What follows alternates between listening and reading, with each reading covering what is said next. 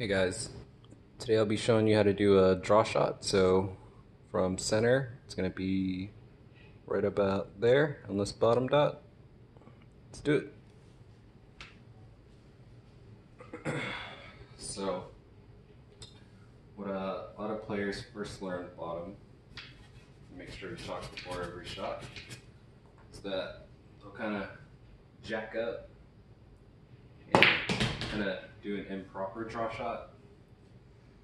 The reason that's bad is because when you jack up, first it's, it's a bad way to shoot, and sometimes you scoop it, jump the ball by accident, so it's really a bad habit that you don't want to have.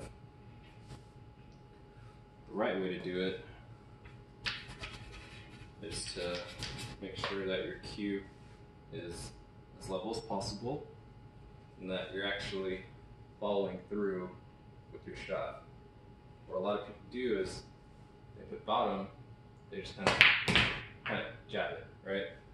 You don't really get the same effect if you uh, actually follow through. So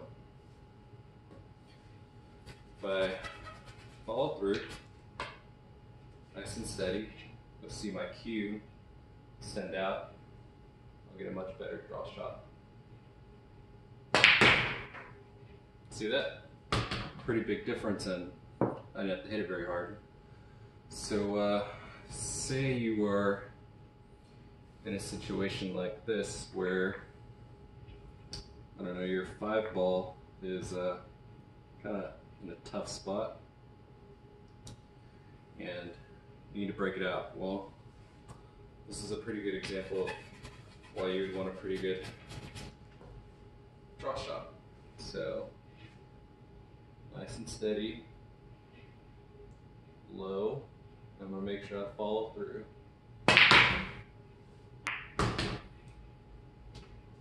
I'll do one more. So, the shot. I'm gonna aim low, nice and steady, follow through. So, low, follow through. See that? And uh, if you're having trouble with, or if you're worried about cue ball hitting it, the ball and rolling back into your stick, you can always pull it back, move it to the left or right, or just move it up out of the way. So what I like to do is just pull it back really quick, but it's whatever is easier for you. So slow and steady. Aiming low.